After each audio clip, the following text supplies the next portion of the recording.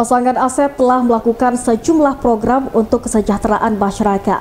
Salah satunya program Aset juga memikirkan kesejahteraan bagi petani rohil dalam bantuan penyediaan alat pertanian. Sejumlah program baru disampaikan pasangan calon bupati dan calon wakil bupati Rohil nomor urut 1, Afrizal Sintong dan Setiawan, saat kampanye dialogis di Desa Bangko Kanan, Kecamatan Bangko.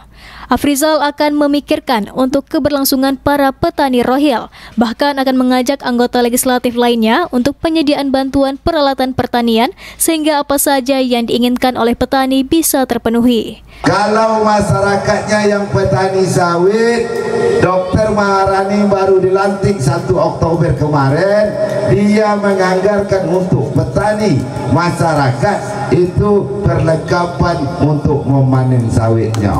Nah, itu ya. Itu dibagi nanti dianggarkan sekitar 25 miliar. Artinya 25 ribu orang penerimanya. Ya. 25 ribu orang apa bentuk yang diterima? Seperti gerobak. Kalau gerobak itu kan? Ah, angkong. Angkong biasanya jauh. Ya, kalau Jawa gerobak. Siap itu dodosnya. Dodosnya cahaya Malaysia yang cantik itu. Dengan semangat yang kuat, selain ingin memajukan Kabupaten Rokan Hilir, Afrizal Sintong juga sangat menginginkan agar Rokan Hilir tak kalah saing dengan kabupaten kota lainnya. Dari Rokan Hilir, Herlman dan Putra Ziko melaporkan.